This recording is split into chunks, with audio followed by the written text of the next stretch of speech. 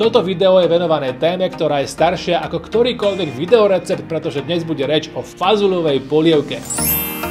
Tu si môžeme pripraviť na mnoho spôsobov, použiť najrôznejšie druhy a odrody fazúl a zmiešať ich s čímkoľvek a neraz výsledok chutí ako obyčajná konzerva fazule v nepodaranom kečupe. No a práve tomu sa dnes chceme vyhnúť. Pripravíme si poctivú fazulovicu, ktoré pomôžu ešte aj tri druhy byliniek, pasírované paradajky a k tomu všetkému si pripravíme aj lahučké krutóny. Poďme na to. Bielu fazulu namočíme aspoň na 8 hodín do vody, najlepšie cez noc, deň pred prípravou samotnej polievky. Potom prepláchneme, zalejeme 2 litrami vody a privedieme do varu. Pozbierame počiatočnú penu a pod pokrievkou pomaly varíme 1 hodinu. V hĺbšom hrnci rozpustíme maslo. 7 minút na ňom opekáme najemno pokrajanú cibuľu. Použil som kombináciu bielej a červenej cibule. Pridáme posekaný cesnak, vetvičku rozmarínu a miešame ďalšie 2 minúty.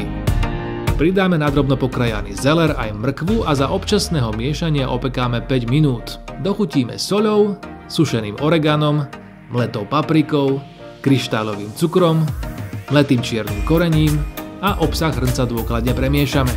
Podlejeme suchým bielým vínom a po pár minútach, keď sa tekutina zredukuje, pridáme do hrnca aj scedenú fazuľu.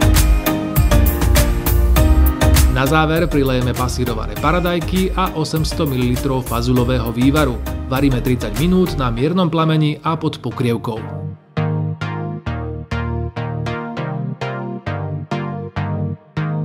Po dovarení vyberieme z hrnca rozmarín a pridáme štedrú dávku posekaného kôpru. Premiešame, dochutíme solou podľa potreby a polievku už ďalej nevaríme. Pred servírovaním necháme ešte aspoň 4 hodinu postať. Toastový chlieb pokrajáme na kocky, zmiešame s posekanou petržanovou ňaťou a na sucho opečieme 5 minút v panvici s nelepivým povrchom.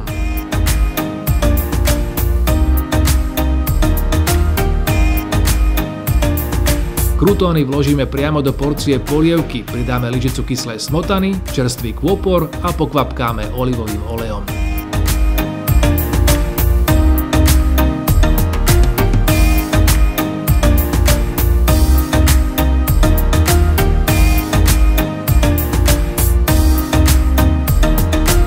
Okrem krutónov, smotany a byliniek skúste použiť do polievky napríklad aj kus grillovaného ovčieho či kozieho syra, prípadne opečenú cuketu s balzamikom. A namiesto fazulovej vody prilejte svoj obľúbený vývar, chuť bude ešte intenzívnejšia.